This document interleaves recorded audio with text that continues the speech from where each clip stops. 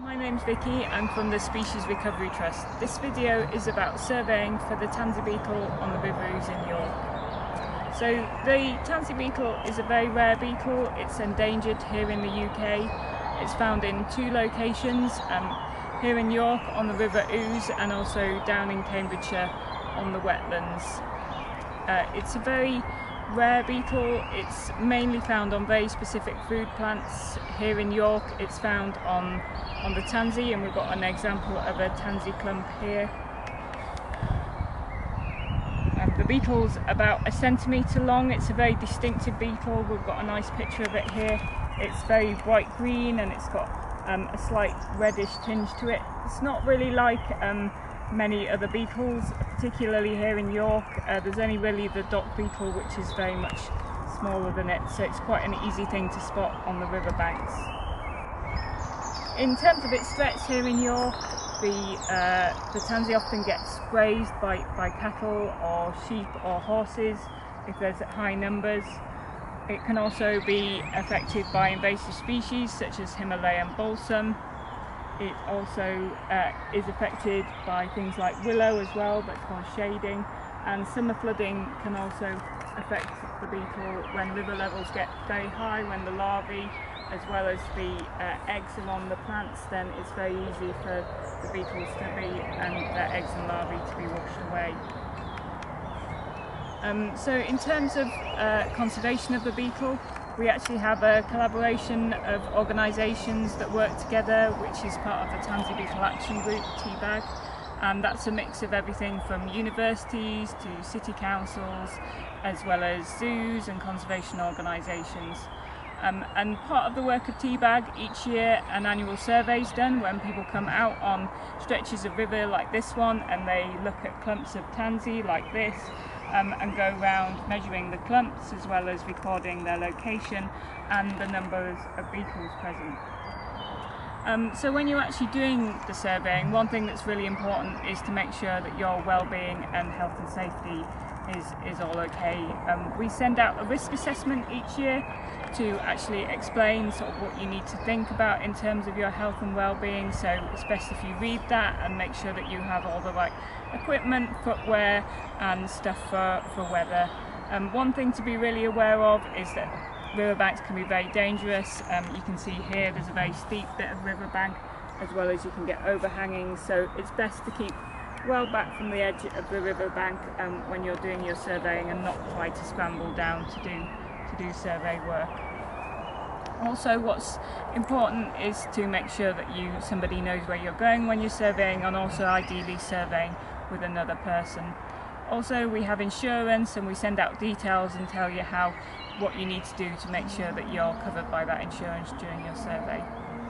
In terms of equipment when you're out surveying, um, there's kind of a few things we provide you with. There's a series of uh, forms that we provide you with. For example, this uh, survey protocol that gives you information about what you should be recording when you're out on the riverbanks. Also together with a recording sheet um, which has another number of columns um, and I'll be giving more information on the next video on how to actually do the actual recording technique. In addition it's a good idea to take out a clipboard to help you um, when you're recording to make it easier. Uh, also take with you any kind of wet weather gear, good footwear, um, and another really important thing is your GPS. Um, so you might already have your own GPS or a phone with a GPS on it, but we also provide GPSs, so if you need it, just let us know and we'll provide you with one. Um, and these also come with, with batteries, but these are really important for recording Start and finish of your stretch as well as where all your tansy clumps and beetles are located. Um, yeah, um, uh, the next video will give you more information about the survey techniques. Okay.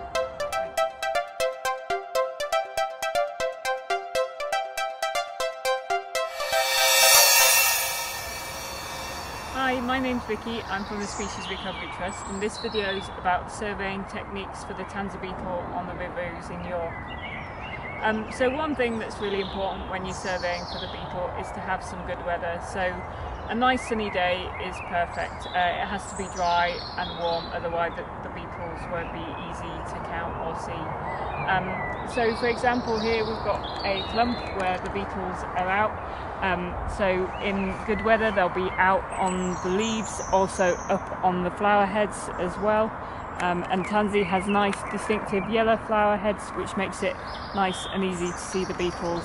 And there's a good picture here of the beetle on the tansy flower heads which are like yellow buttons and the beetles sit out and sunbathe on the flower heads.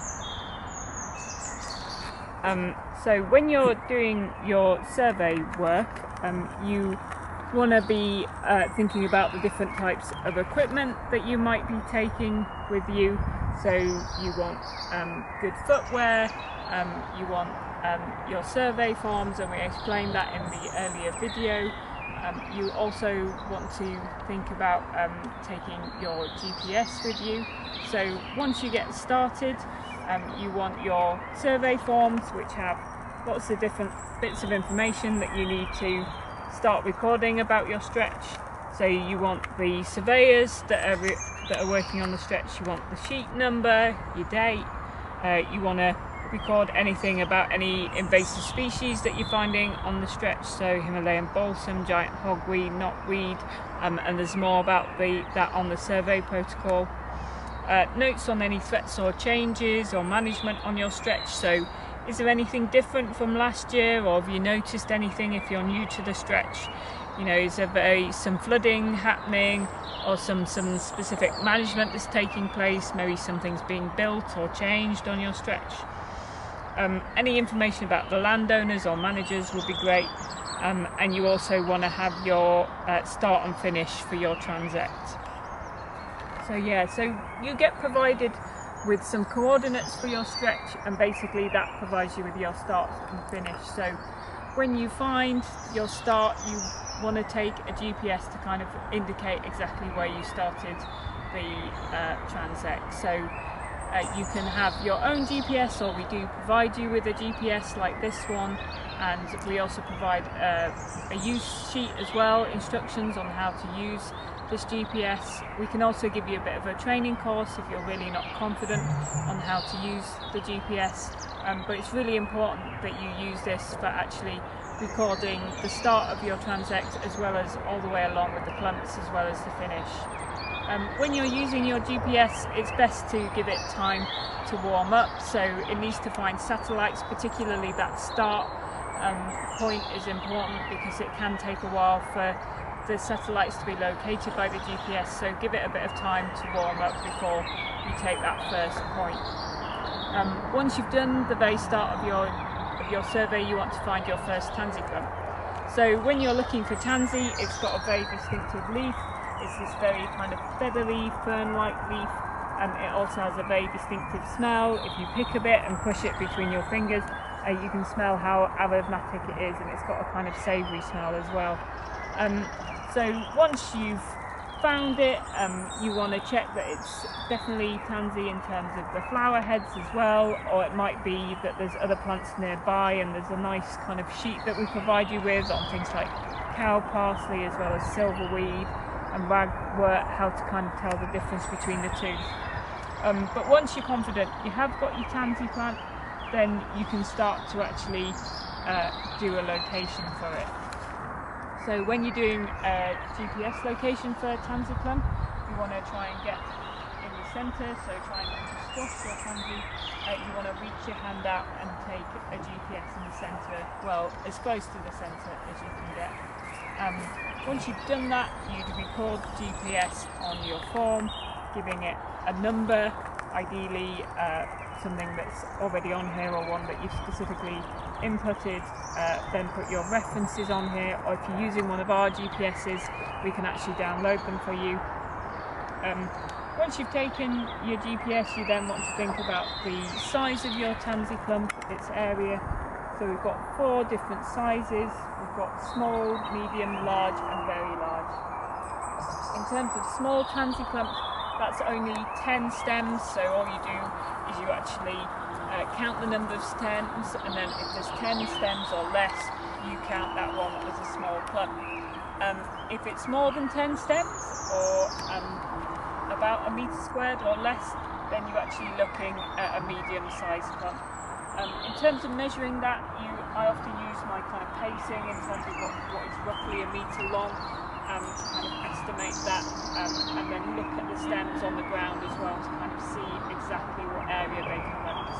They can flop over which can make it more confusing. Um, in terms of the next stage up, in terms of large, it's actually between a metre squared and two metres squared and then going up from two metres squared um, to three metres squared and then with a very large you're three metres squared and over.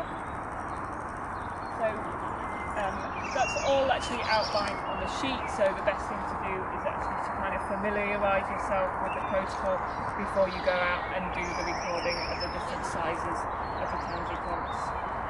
In terms of beetle presence um, and absence, you're going to obviously have a look at the clump and just see whether you can see any beetles initially. Um, if you've got beetles then it's down as a 1 for presence or if you have no beetles it's a 0 for absence. In terms of recording the number of beetles, um, what you have to do is just cho choose a point on your clump and then start to count. Um, so uh, look for the centre and then just count outwards and just keep counting as you go along. So it's quite easy to see the beetles but you've got to kind of make an effort to kind of look in the different kind of areas of the clump they also occur slightly outside the clumps on different plants, so you really have to have a good look and search to kind of make sure that you get all the different um, beetles. Especially if the weather changes, they're more likely to kind of hide a bit more within the clump. Um, so you keep doing that round, kind of counting your beetles. It might be that you can't get all the way round because there's a riverbank in the way. Um, if that's the case, then you just have to kind of do your best to kind of count the beetles that you can see. Or if you've got short vision binoculars, kind of using those to actually record um, any beetle numbers that way.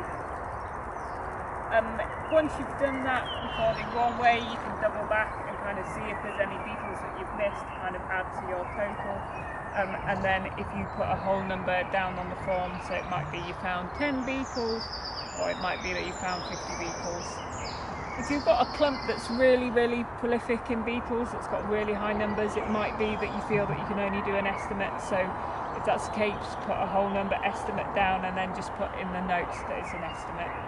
Um, you do have the option to put any notes down if you've anything specific about the tansy. It might be that it looks like it's been sprayed, so it's dead, or it's been mown to the ground, so you might want to put some additional notes in. Um, once you've done that, then you can move on to your next clump and work slowly along your stretch, recording any clumps that you see. It might not be that you always find clumps on directly on the riverbank like this. It might be also that there's clumps like slightly away.